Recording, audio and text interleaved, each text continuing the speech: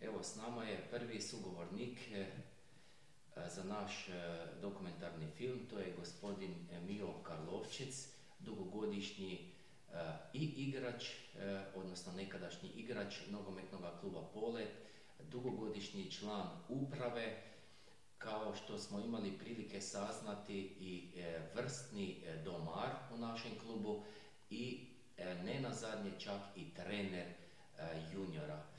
Pa vas lijepo pozdravljamo i htjeli bi vas pitati koje godine ste se uključili u nogometni klub Polet, kako je to izgledalo, koliko ste imali godina i kako je bio organizirani klub, ako nam možete malo nešto o tome reći. Pa eto, počelo je 65. E, godine prošlog stoljeća. Bilo je tada u selu 15 e, mladih ljudi, momaka, koji su voljeli nogomet, pa smo došli na ideju da se organizira klub i da se aktivno uključimo u takmičenje.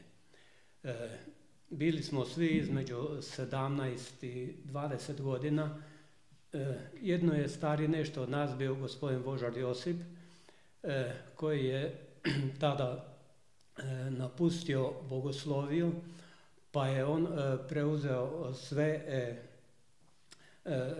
na sebe organizaciju registriranja tog kluba, a pošto su se e, takvima u ono vrijeme otvarala vrata, ovoga, e, on je bio i najpogodnija osoba za to.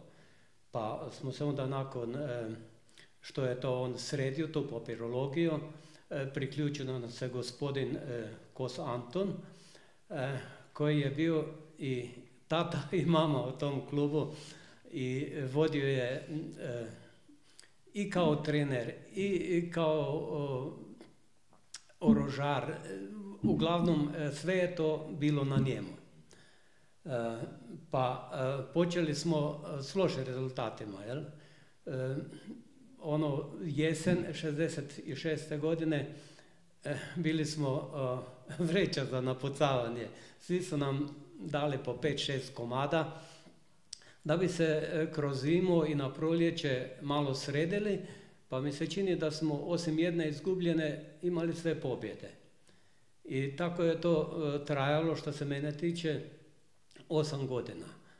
Onda sam nažalost morao trbuhom za kruhom u Njemačku i e, nogomet je ostao iza mene, ali nakon 8 godina vratio sam se ponovo u klub i kao, ne više kao igrač, e, kao član uprave i uh, odmah sljedeće godine e, je pokojni tadašnji predsjednik gospodin Kralj došao do mene i jednostavno me stavio pred gotov čin, ti ćeš pored toga što radiš u upravi voditi i juniore. I s tim juniorima sam se onda zadržao oko 10 godina. U tim generacijama juniora bilo je stvarno dobrih generacija, pa se sjećam da se jedno vrijeme e, kad smo se ovoga takmičili u zajednici općina e, e, Čakovec, Varaždin, Ludbreg, postizali su odlične rezultate. Ipak je to bila konkurencija jednog, jedne slobode varaždinske, jednog eh, Nedeljanca, jednog Podravine, Ludbreg, Sigeteca i u toj klasi oni su bili uvijek u gornjoj eh, polovici tablice. Kako je bilo glede opreme? Da li je bilo dosta opreme? Kako ste se financirali? Kako je taj dio funkcionirao? Pa, oprema, to, e, koji, koji smo donekle mogli, kupovali smo sami kopačke i to. Klub je nabavio dresove, e, ali to su bili onaj jedan par dresova koji smo onda nosili doma, pa oprali, pa opet imali za drugu utakmicu. Nekakvog orožara ili to, to nije bilo jednostavno. Jednostavno smo se sastali u nedjelju prije podne, pokosili smo ručno, smo pokosili igralište, i popodne igrali nogomet. E, pomagali, do duše pomagali su nam e, e, kao privatnici, su tu i tamo poklonili ili neko piće ili nešto takvoga. Uglavnom, dobili smo nešto na ulaznicama i koliko smo imali, toliko smo trošili. Bili ste nekoliko godina i domar ili kao što mi kažemo to u klubu orožar. Kako je bilo raditi taj posao? Čuli smo da ste bili, da je kod vas u orožarni bilo kao, kao u apoteci. Pa nam nešto malo oko toga kažite. Pa kad sam došao bilo je to prilično zapušteno. U to, nije to bilo dugo vrijeme, a to kratko vrijeme, mislim da je bilo godinu, dvije godine. Tako, ja sam to unapredio malo, malo se to dalo očistiti, malo sam sredio sve to što se dalo srediti.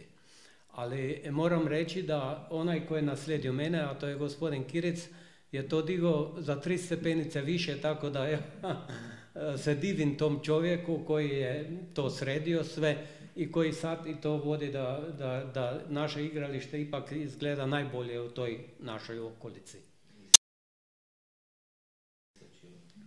Ako se sad malo osvrnete na sadašnju ekipu, na sadašnje vodstvo, e, odnosno upravo nogometnog kluba Polet, kako iz vaše perspektive izgleda, da li, da li ste zadovoljni, da li mislite da, da smo na pravom putu i da li dalje dolazite na utakmice i dajete podršku?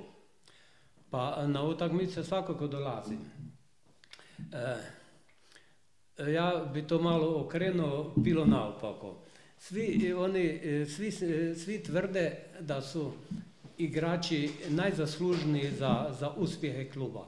Ja to gledam drugče. E, e, najveći uspjeh kluba počeli su se dešavati kad je e, pokojni gospodin Kralj e, pokrenuo to i pokrenuo upravu. A ta uprava je morala nabaviti novce. A no, to je nešto najteže što se da napraviti. Ja sam i kao igrač i kao e, trener i kao član uprave, najteže je raditi u upravi. E, niko nikome ne plješće u upravi, plješće igračima, a uprava mora pribaviti novac i o tome, o tom novcu, nažalost, e, e, zavise i, i uspjehi kluba. Ako uprava nabavi novac, igrači se mogu nabaviti, igrača ima puno, ali je jako teško i u današnje doma, a i nekad je bilo teško ovoga, financirati klub.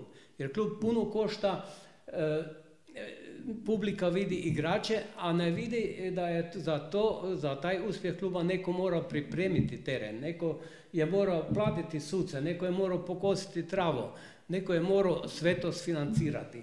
A to, to ovoga radi uprava. Ja se divim upravi zadnjih 20 godina e, da badava su igrači ako nema dobre uprave. Uprava je ta koja nosi kluba. Da li se sjećate možda e, neke anegdote ili nekog događaja posebnog e, što bi htjeli istaći? Pa bilo je puno toga. Bilo je anegdota kao igrač, bilo je anegdota s juniorima, bilo je anegdota na tim raznim raznim priredbama. E, znali smo skupiti 3000 ljudi, trebalo je te ljude podboriti, trebalo je, trebalo je jako, jako puno rada da, je, da su uspjele te, te, te tadašnje zabave ili tombole, e, jer od tog rada je uvisi onda i uspjeh kluba. S tim novcima smo onda mogli, mogao je klub prosperirati. A kao trener juniora tu je bilo svašta, tu je trebalo ovoga momci su ovoga zaplovili, pa ih je trebalo jutro buditi, trebalo ići od kuće do kuće i buditi. Nažalost, to je tako, mladi su pa vole život. za, vrijeme, za vrijeme e, kad ste vi igrali nogomet, e, čuli smo da su igrači međusobno jedni drugima pomagali u privatnim radovima kod izgradnje kuće i slično. Da li je toga bilo? Pa možda to ono doba još nije bilo toliko prisutno, ali u generaciji gospodina Perčića onda je to bilo izrazito. Svako je gradio kuću, e, e, mu se pomoglo. Bilo je tu između igrača, bilo je zidara, tesara, tako da su se te kuće ipak malo jeftinije sagradile, ali ni igrači nisu dobivali nekakve novce. Sad je to, se dobije nešto u novcima, ali tada je najveća pomoć bila igračima e, pomoć oko, oko kuća, na radovima oko kuća.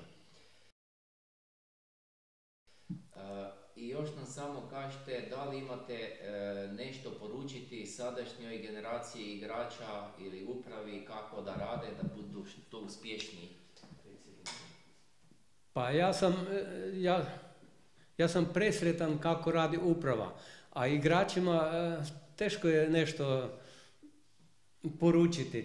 Uglavnom treba, treba voljeti klub, treba voljeti nogomet i treba, treba trenirati. Treba, bez treninga danas nema ništa. Nekad se moglo bez treninga, ali danas e, ko ne trenira izgleda smiješno na, na, na, na, igralištu. Tako da je moja poruka rat i samo rat. Gospodine Karlovčec, e, zahvaljujemo na razgovoru i želimo vam puno zdravlja i da još dugo pratite naš i svoj nogometni klub. Hvala lijepo, evo vam.